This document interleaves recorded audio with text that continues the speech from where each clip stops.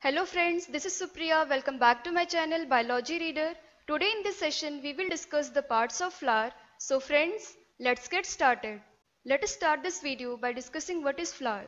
A flower is also called bloom or blossom and considered the reproductive organ of the flowering plants or angiosperms. Flowers come in many different shapes, sizes, colors and scents.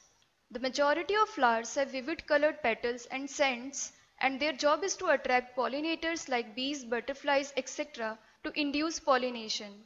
However, the wind pollinated flowers like dandelion flowers usually appear dull in color.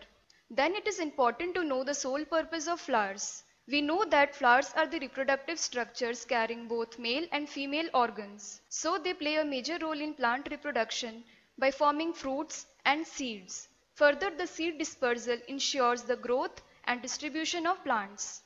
Now we will discuss the types of flowers. We know that the basic structure of a flower comprises sepals, petals, stamens and carpels. So based on all the four components of a flower, flowers can be classified into two types, complete flowers and incomplete flowers. A complete flower contains all the four components of a flower and its examples include hibiscus flowers and roses.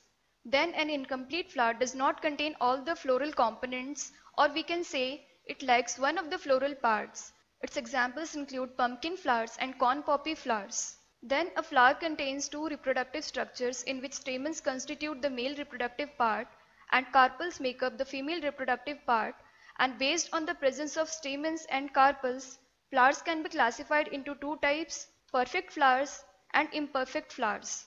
A perfect flower has both male and female parts of a flower.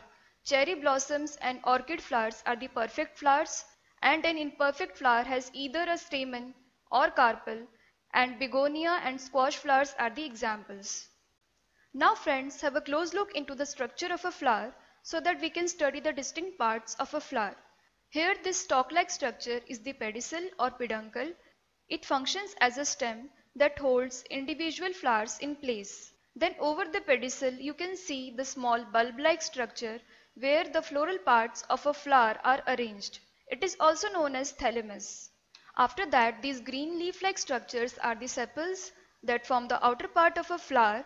These are the modified leaves which generally appear green, but sometimes they can be colorful or resemble petals. Then this violet colored portion indicates petals that form the second outer part of a flower. Petals are usually bright in color, but sometimes they appear dull too.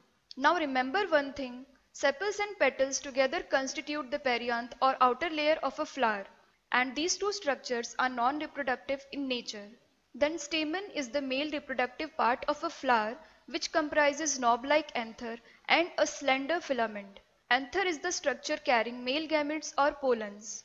You can refer our previous video to study anther in detail.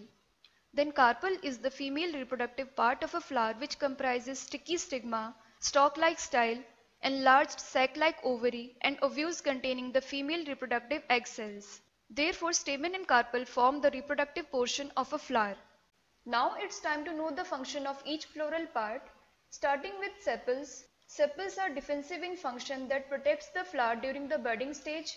In these pictures, you can clearly see how the sepals enclose and protect the inner components of a flower from harsh conditions during the developing stage. Sepals support the flower bud they prevent the flower from drying out. They also protect the delicate internal structures of a flower. Then petals play a key role in pollination by attracting pollinators to the flower. Like sepals, petals also protect the reproductive parts of a flower. In a flower, petals are the center of attraction because they have unusual shapes, different colors and scents. This property of petals attracts pollinators like bees, butterflies, etc that transfer pollens from one flower to the another. The main function of stamens is to hold the male gametes. Anther is the region where pollen grains develop and when these pollen grains are transferred onto the stigma of same or another flower, they germinate and fertilize the egg cells.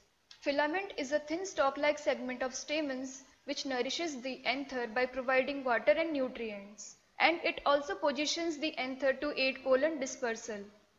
Carpel's main function is to carry the female gametes. The stigma of a flower is the site of pollen reception or it functions like a sticky platform where the pollen gets attached. Then style provides a passage for the pollen tube germination in which the sperm cells travel towards the ovary. Ovary is the sac-like structure that holds the ovule carrying female gametes. The pollen tube penetrate the ovule and the sperm cells fuse with the egg cell to undergo fertilization. So friends, we have discussed about the function of all the floral components.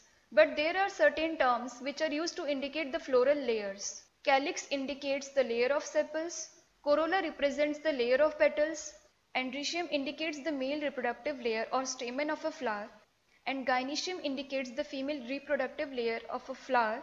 Therefore, we should not confuse with these terms. So friends, this is all for today. If you find this lesson useful, do like, comment, share and subscribe my channel and don't forget to press the bell icon for more videos.